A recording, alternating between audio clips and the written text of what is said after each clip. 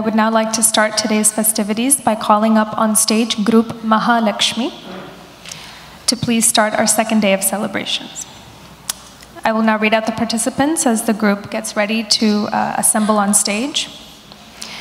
Abhinav Seshadri, Akila Nanniboina, Anirudh Bandaru, Chaitra Kandarpa, Ishwar Parashuramuni, Hema Parashuramuni,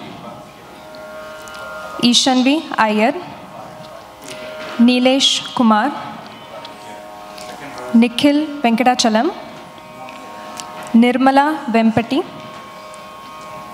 Padmavati Bhagavatula, Sanjana Valampati, Shanmati Venkateshan, and Vasanti Kotta. They will be singing the songs Mahalakshmi Jagan Mata in the ragam Shankara Bharanam, set to Mishra Chapu Talam, composed by Sri Papanasham Shivan. This song is in praise of Goddess Mahalakshmi, the mother of the universe. The composer prays to the goddess to take pity on him and grant him many boons. He describes her as the one who resides on the jeweled seat of the chest of Lord Mahavishnu and as the mother of Manmada.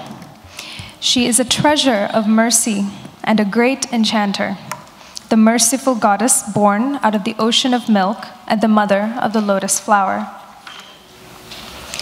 Next, they will sing Vande Sada Padmanabham in the ragam Navarasa Kannada, set to Aditalam, composed by Maharaja Swati Tirunal. The composer bows here in this song to Lord Padmanabha, the pure hearted soul who remains as a mandara to the people who bow at his feet. His beautiful teeth defeat the pride of the jasmine buds.